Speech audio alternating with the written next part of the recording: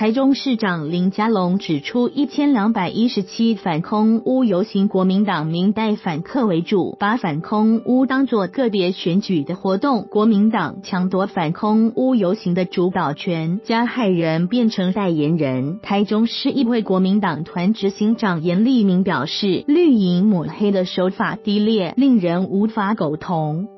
严立敏拿出环保团体的公文邀请函，证明环团主导的反空屋游行不分蓝绿，不分执政及在野，全部都邀请，还包括环保署长李英元、台中市长林佳龙、立法院国民党团、立法院民进党团、台中市议会全体议员等。严立敏说，这份公文证明空屋是全民运动，空气没有蓝绿，但民进党刻意操作蓝绿，事实上是尝试将反空屋游行抹上政党色彩，削弱公民发起的力量，其心可议。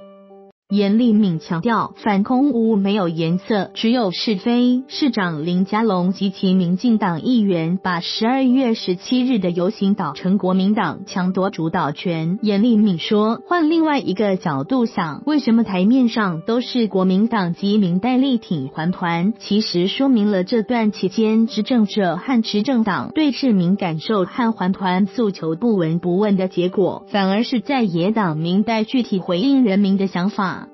严立敏提醒市长林佳龙，人民要求政府给干净的好空气是基本权益，也天经地义。黑心食品大家可以拒吃，但黑心空气大家不能不吸。这样的心情，执政党林佳。